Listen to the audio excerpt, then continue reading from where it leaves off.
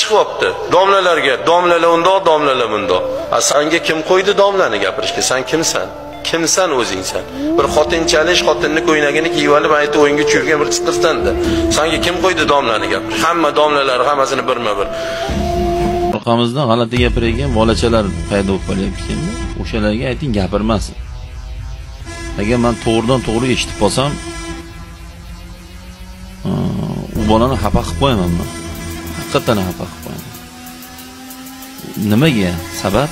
Haligi eng arzon narsa nima bugun? Kim aytadi? Eng arzon narsa. Gugut bitta variant bu ham. Yana. Eng arzon narsa nima? Ilm? Ya ilm eng qimmat narsa. Mani oldimga kelsangiz yuz dollarga o'rgatyapmanda ilm qimmat narsa. Eng arzon narsa. Gugut mana shunga yana nima? To'g'ri ichidagi ma'lumotga qiyoslasangiz arzon narsa lekin kitoblar ham qimmat. O'qib yurgan odam biladi kitob e, kitob qimmat narsa qimmat kitoblar yo'q. Yana qanaqa variant gugutdan ham arzon bitta narsani aytamasdan gugutdan ham arzon ko'chada yotgan bitta hash cho'pdan ham arzon bitta arzon narsa eng arzon narsa aynan siz bilan mani umrim bo'lib qoldi vaqt bo'lib qoldi.